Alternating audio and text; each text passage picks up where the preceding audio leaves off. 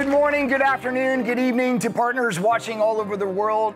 I'm really excited about all of the work we're going to do together to really help customers embrace what I call AI transformation. AI transformation is about solving for the business impact and applying technology to help customers achieve more.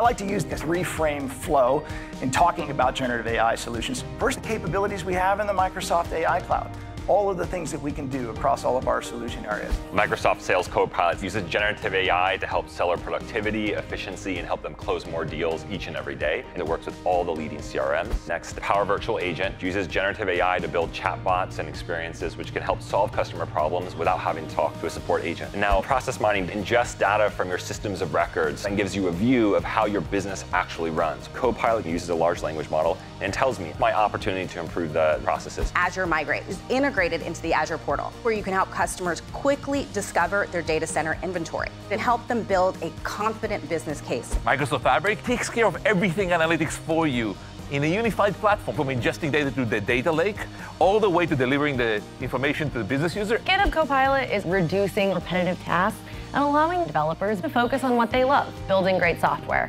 In just seconds here, we've got a maintainable, readable, and tested file. In a typical security investigation, analysts need to synthesize information coming from multiple different data sources and use their expertise to interpret what that means. With Security Copilot, even a junior analyst can perform the most advanced investigation in just a fraction of the time that it would traditionally take. Then the integrated partner ecosystem and all of the value we can add with your Copilots and all of the new innovation that's built on the Azure AI platform. With Dragon Medical One, physicians no longer burdened by having to take notes in real time. The speech is diarized, and within seconds, this transcript is turned into clinical documentation. The physician sends the finalized note through voice to the EMR, in this case, Epic.